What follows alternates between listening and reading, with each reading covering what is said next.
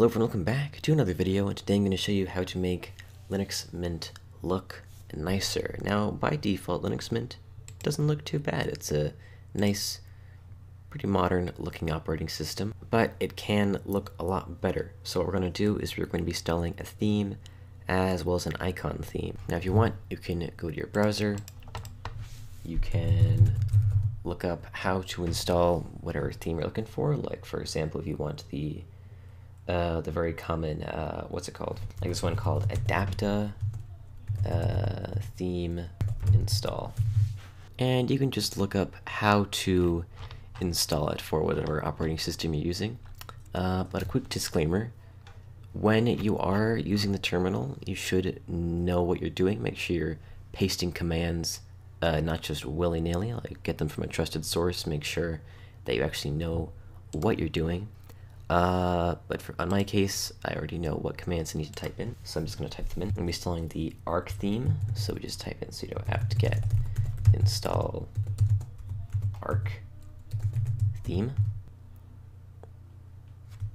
Let it run. And we're also going to be installing the Papirus icon theme.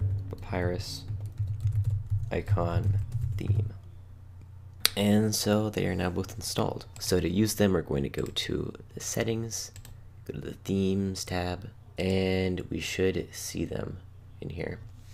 So I'm to go with Arc Dark. For icons, I'm to select Papirus. For this, I'm to select Arc Dark. And for this, I'm to select Arc Dark.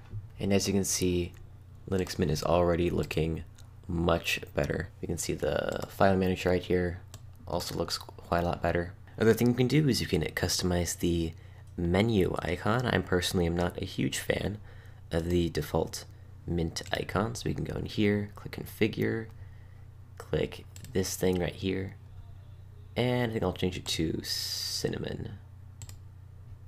Yeah, there we go.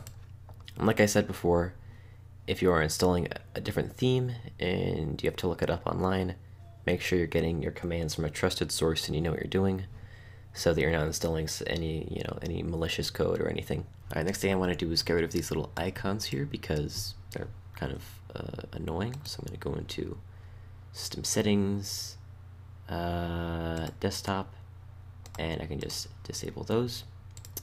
Uh, and then I'll also change the desktop background. Oh yeah, as you can see, I've already uh, installed all my programs in between in between uh, in between edits. So I'm just going to change our desktop background. All right, I didn't want to show you my pictures folder, but uh, as you can see, it's you know it's it's pretty intuitive. I just changed it to this uh, wallpaper.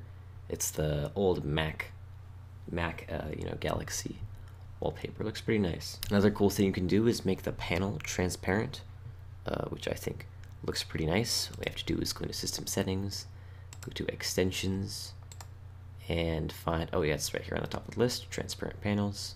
Just download that and click the plus button right here so it's installed. Click configure. Oh yeah, you can see it's already working.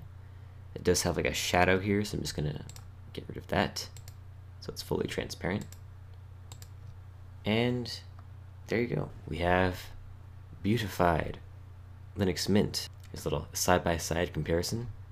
So that's how to make Linux Mint look better. Thank you all for watching, and I'll see you in the next video. Goodbye.